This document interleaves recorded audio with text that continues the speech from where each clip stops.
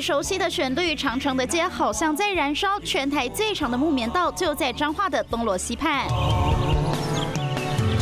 将近五点四公里，超过一千一百棵的木棉树花矿大爆发，整排木棉花黄色、红色、橘色三色花朵绵延成一片，吸引上千名的游客来欣赏木棉花。很漂亮，很不错。开这个木棉花，因为这边每一年每一年这个时间开，只有这个时间是最漂亮的。哦，这是第一次先来看的花，但有凋谢了一些，但是现在花花还是很漂亮。全台最长的木棉花道横跨二林镇和皮头乡，乡镇公所联合封街，要让民众在周末假期徜徉在木棉花树下。尽情拍照。美丽的花矿同样在彰化二林铁道樱花季开跑，有平地樱花之称的花旗木花朵也正在含苞待放。我来早了，要到清明节左右吧。很失望，以为已经开大开了，怎么会走这样？最最那一撮。对啊，今年怎么这么慢？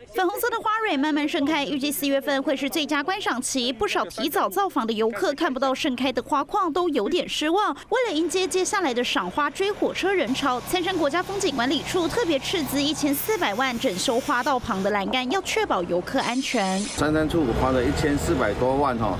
整个来改善这个六百多公尺的一个路面，包括挡土墙，还有安全性护栏。三月份全台各地百花齐放，无论是木棉花还是平地樱花花旗木，都各有姿色。民众想赏花，可得把握时间，花谢了就得再等明年。华视新闻谢谢宗谢中义张华报道。